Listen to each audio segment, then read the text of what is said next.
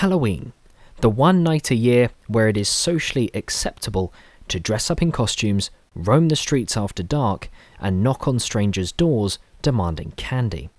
And yet, this celebration is not a completely modern phenomenon.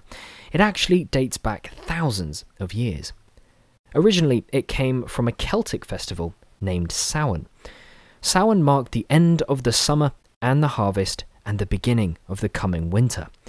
They would light bonfires, wear costumes, and hold great gatherings in which they would attempt to ward off evil spirits.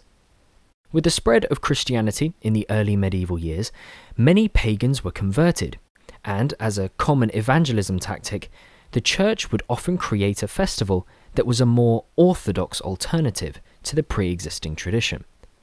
This led to the institution of All Saints' Day, or All Hallows' Day, celebrated on November 1st. This meant that the traditional date of Samhain, October 31st, was now All Hallows Eve, or, as it would later become known, Halloween. Many of the customs of Samhain, like the costume wearing, the bonfires, and parades, were carried over into the new Christian tradition. And as time went on, customs from other similar celebrations were assimilated in, like the Scottish tradition of guising, where children dressed up as ghosts to successfully hide from the spirits roaming the land would perform an act, like a song or a poem, that would get them rewarded with a treat. This was an early form of the modern trick or treating. Pumpkin carving is a rather more modern custom, with pumpkins actually being native to America.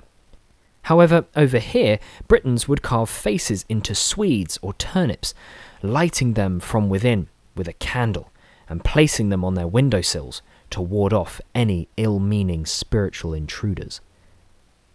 Nowadays, Halloween is a wildly commercial endeavour, with spending for this one night celebration reaching as high as £474 million in the UK alone in 2019.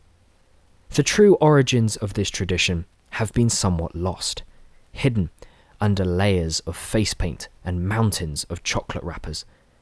And yet, there is still a part that persists this fascination with ghosts and spirits. And for some, the idea that this is the night where the boundaries between the living and the dead are increasingly thin. This has been a very short history of Halloween. Thank you very much for listening to this present history bite, and make sure you follow us on all social media so you can keep up to date with all we do. Thank you again, and we will see you in the next Present History Bite.